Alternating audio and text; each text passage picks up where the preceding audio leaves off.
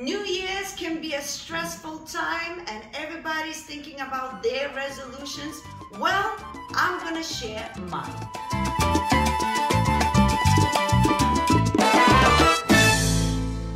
Hello, my beautiful subscribers. Rasa the Dancer is here. And New Year's, oh my goodness, another new year. You know, sometimes you're just living your life next thing you know it's new year.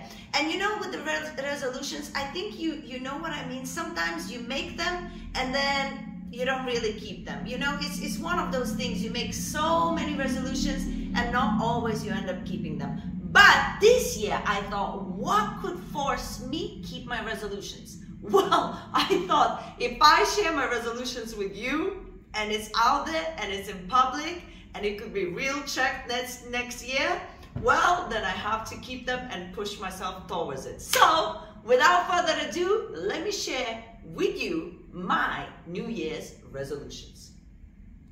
Okay, the first one, I have to be honest, is for YouTube channel. I wish uh, that we get to at least 50K by next new year, okay? Now, we've been slowly climbing for a few years now, and recently it's been doing a little bit better, and I'm trying to increase the quality and introduce many different things like the podcast and all of the rest.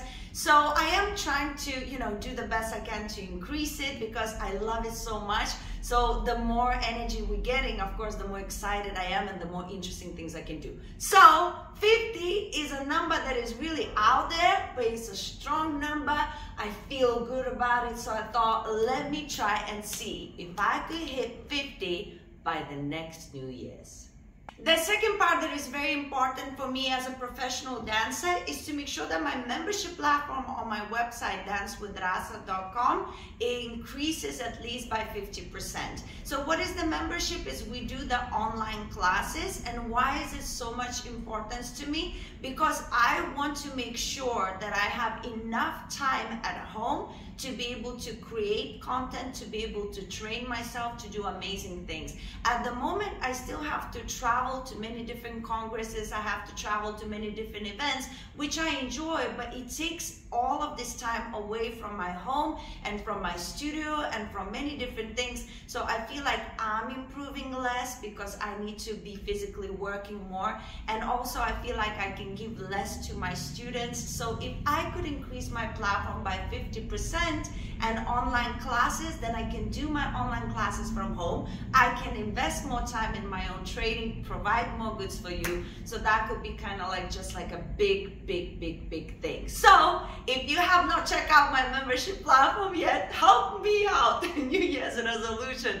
Be part of my New Year's resolution. Go to my online classes. Okay, this one is a bit funny, but I really, I started recently my podcast called The Rasa Show, and I have many different topics that we're going to be discussing on that podcast. But one of the things I really want this year as a New Year's resolution to get at least one super famous guest. Somebody that like everybody would know. Not just like a salsa bachata dance community, but like most people would know. I would love to have somebody famous. I don't want to say a name just yet, but I have few people in mind. I don't know how I'm gonna get it. I'm gonna have to sell my soul, but that is one of the other my New Year's resolutions to get a famous guest on the podcast. Okay, this other one is a tricky one, but it would be very beneficial for me to also get one paid, at least one paid uh, collaboration with somebody, with some sort of like a brand or something, because um, you know I'm getting better at the YouTube thing and stuff.